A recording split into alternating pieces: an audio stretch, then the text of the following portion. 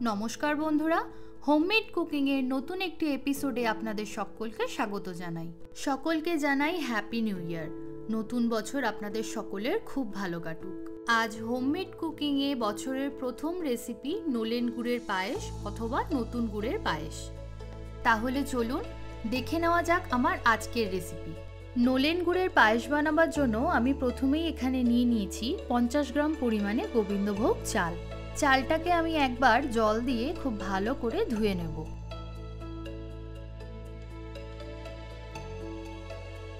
চাল ধোয়া হয়ে গেলে এভাবে একটা ছাকনির ওপরে ছড়িয়ে চালটাকে জল ঝরার জন্য রেখে দিচ্ছি। জল ঝরানো হয়ে গেলে চালটাকে একটা বাটির মধ্যে নিয়ে নিচ্ছি। এবার এর মধ্যে দিয়ে দিচ্ছি এক চামচ পরিমাণে ঘি। চালটাকে ঘিয়ের সাথে খুব ভালোভাবে মাখিয়ে নিচ্ছি। এতে করে আমরা চালটাকে যখন দুধের মধ্যে ফোটাবো, তখন আর চালটা ভেঙে যাওয়ার সম্ভাবনা থাকবে না। কড়াইতে দিয়ে দিচ্ছি এক স্পুন পরিমাণে ঘি। ঘি গরম হয়ে গেলে এর মধ্যে দিয়ে দিচ্ছি দেড় টেবিল চামচ পরিমাণে ভাঙা কাজু বাদাম। গ্যাসের ফ্লেমটাকে মিডিয়ামে রেখে কাজু বাদামগুলো আমি হালকা লালচে রং আসা অবধি ভেজে নেব। কাজু বাদামগুলি হালকা লালচে করে ভেজে নেওয়া হয়ে গেছে। এবার আমি এর মধ্যে দিয়ে দিচ্ছি এক টেবিল চামচ পরিমাণে কিশমিশ।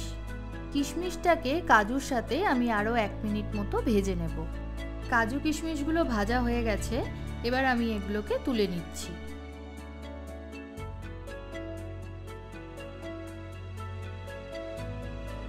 এবার ওই একই কড়াইতে আমি দিয়ে দিচ্ছি এক লিটার পরিমাণে ফুল ক্রিম দুধ।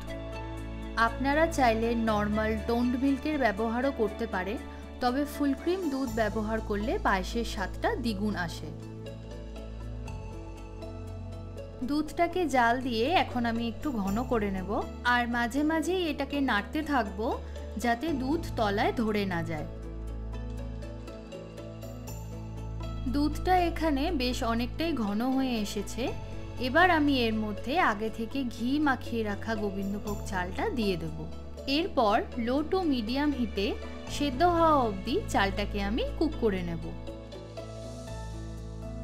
পায়েসের চালটা এখানে সেদ্ধ হয়ে গেছে।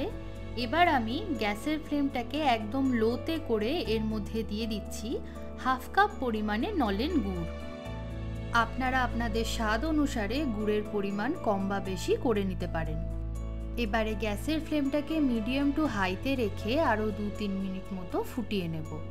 আমি এখানে লিকুইড খেজুর গুড়ের ব্যবহার করেছি, তবে আপনারা যারা পায়েস বানানোর জন্য খেজুর গুড়ের পাটালি ব্যবহার করতে চান, তারা একটা পাত্রে সামান্য জল দিয়ে তাতে আপনারা যতটা মিষ্টি খাবেন সেই অনুযায়ী গুড় দিয়ে মিডিয়াম টু হাই হিটে গুড়টাকে একটু জাল দিয়ে নেবেন। এরপর ওই গুড়ের মিশ্রণ ঠান্ডা করে তারপরে পায়েসে ব্যবহার করবেন। এতে পায়েসে দুধ গুড়ের জন্য কেটে যাওয়ার সম্ভাবনা একেবারেই থাকবে না।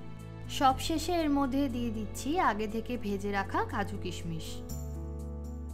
আর দিয়ে দিচ্ছি হাফ টিস্পুন পরিমাণে এলাচ গুঁড়ো। ভালো করে নাড়াচাড়া করে একবার সব কিছু মিশিয়ে নিচ্ছি। গুড়ের পায়েসে অনেকেই এলাচ গুঁড়ো পছন্দ করেন না। তারা অবশ্যই এলাচ গুঁড়োটাকে স্কিপ করতে পারেন। পায়েসটাকে এখানে আমি আর ফোটাবো না, কারণ পায়েসটা ঠান্ডা হওয়ার পর বেশ অনেকটাই ঘন হয়ে আসবে। এছাড়া গুড় দেওয়ার পর দুধের যে কোনো জিনিস খুব বেশিক্ষণ ফোটালেও দুধ কেটে যাওয়ার সম্ভাবনা থাকে। আমাদের নলেন গুড় অথবা নতুন গুড়ের পায়েস একদম রেডি গ্যাসের ফ্লেমটাকে অফ করে পায়েসটাকে ঠান্ডা করে তারপরে আমরা সার্ভ করব। আমার আজকের রেসিপি আপনাদের কেমন লাগল কমেন্ট বক্সে কমেন্ট করে অবশ্যই জানাবেন। রেসিপিটি ভালো লেগে থাকলে ভিডিওটিতে একটি লাইক করে সকলের সাথে শেয়ার করবেন।